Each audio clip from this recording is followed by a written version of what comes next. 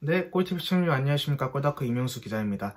지금 막 끝난 토트넘과 맨체스터 시티의 경기 프리미어리 24라운드 맨시티의 3대0 승리로 마무리가 됐습니다. 이제 많은 분들께서 좀 뭐 토트넘 팬분들 걱정하셨던 대로 좀 손흥민 선수가 이제 주중에 FA컵 에버턴과의 FA컵에서 120분을 뛰고 또 맨체스티전에서 선발로 나왔는데 상당히 좀 많이 지친 모습을 보여줬던 것 같습니다. 그러면서 토트넘이 좀 어, 주중 경기 여파 때문인지 전체적으로 많이 좀 무기력해 보였고요.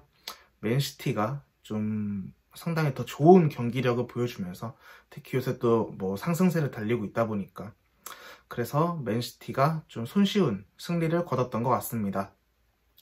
이제 손흥민 선수 주중에 이제 에버턴과 FA컵에서 연장전 포함해서 120분 풀타임을 뛰었지만 오늘 선발로 나왔습니다. 이제 케인 선수가 원톱으로 나왔고요. 손흥민 선수랑 모우라 선수 그리고 이제 라멜라 선수가 이제 선발로 나왔습니다. 이제, 이제 전반 15분이었죠. 케인 선수가 정말 멋진 직접 프리킥 슈팅을 때리면서 어 이제 토트넘이 좀 선제골을 넣나 했는데 골대를 맞고 나오는 바람에 좀 많이 아쉬운 상황이 됐고 특히 어, 이런 빅매치일수록 세트피스에서 아니 뭐 프리킥, 페널티킥에서 승부가 뭐 갈리는 경우도 있는데 토트넘의 이제 행운의 여신이 찾아오기보다 맨시티 쪽에 왔던 것 같습니다. 이제 후, 전반 23분 이제 페널티킥 이제 맨시티가 페널티킥을 얻었고 키커로 로드리 선수가 성공시키면서 이제 맨시티가 선제골을 터뜨렸습니다.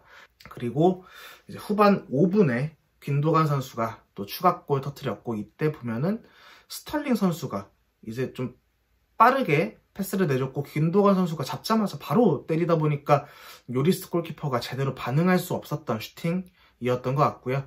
그리고 후반 21분에 에데르송 선수가 길게 때려준 공을 이제 균도간 선수와 산체 선수가 볼 경합하면서 균도간 선수가 볼 경합해서 승리를 했고요. 그거를 또 깔끔하게 밀어 넣으면서 스코어가 3대 0이 됐습니다.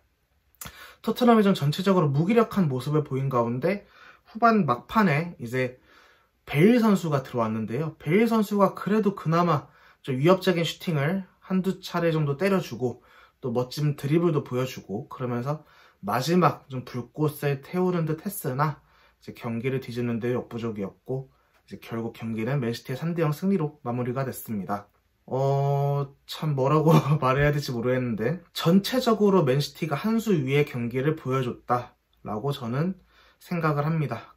손흥민 선수와 케인 선수가 프리미어리그에서 상당한 실력을 갖추고 있고 최고의 공격 조합으로 평가받고 있지만 이 두 선수가 짊어지고 있는 짐이 너무 크다라고 또 할 수 있을 것 같고요. 이제 반대편 이제 손흥민 선수가 막 막히면 반대편에서 다른 선수가 좀 뚫어줘야 되는데 오늘 뭐 경기를 보셨던 분들 아시겠지만 라멜라 선수가 전혀 그러지 못했고 라멜라 선수가 이제 좀 공격 흐름을 많이 끊어먹었던 경기였던 것 같습니다. 저 역시 뭐 좀 말하기가 평론하기가 좀 조심스럽긴 하지만 라멜라 선수가 오늘 경기에 좀 뭐 워스트였지 않았을까 하는 생각도 들고요.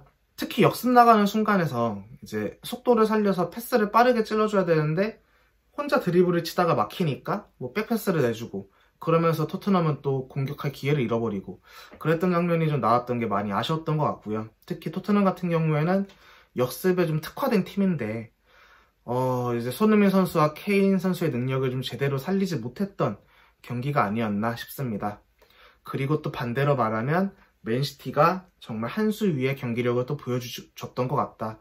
이제 특히 저는 경기를 보면서 또 어떤 생각까지 들었냐면 이제 맨시티가 성인이고 이제 뭐 토트넘의 고등학교 팀인가 이런 생각이 들 정도로 맨시티는 정말 쉽게 쉽게 볼을 차고 쉽게 골을 넣는데 특히 뭐 균도간 선수의 두골 모두 보면은 상당히 좀 쉽게 이제 패턴이 전개가 됐거든요.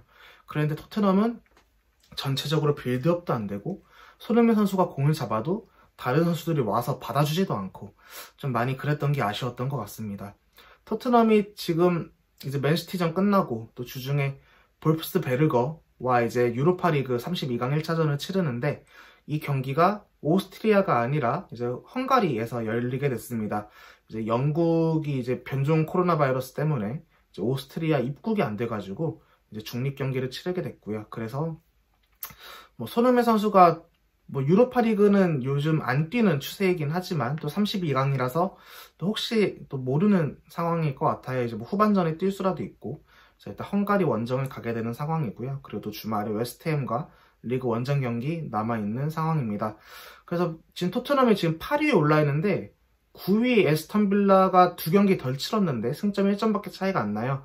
그래서 지금 9위까지도 떨어질 수 있는 상황이고 여러모로 많이 사면 초과에 몰려있는 무리뉴 감독이지 않나 싶습니다. 그리고 이제 어 최근에 이런 보도를 제가 본 것 같아요. 이제 케인 선수가 우승 트로피를 위해서 맨시티 이적을 원할 수도 있을 것 같다라는 그런 보도였던 것 같은데 오늘 경기를 보면서 저도 확실하게 좀 많이 느꼈습니다. 케인 선수가 우승 트로피를 원한다면 토트넘은 따라하는 게 맞을 수도 있겠구나 라는 생각이 들었고 어떻게 보면 손흥민 선수도 마찬가지일 것 같습니다. 뭐 여기에 대한 내용은 더 나중에 더 뭐 추가로 뭐 이야기를 할 수 있도록 하고요. 네, 저희가 오늘 준비한 건 여기까지입니다. 감사합니다.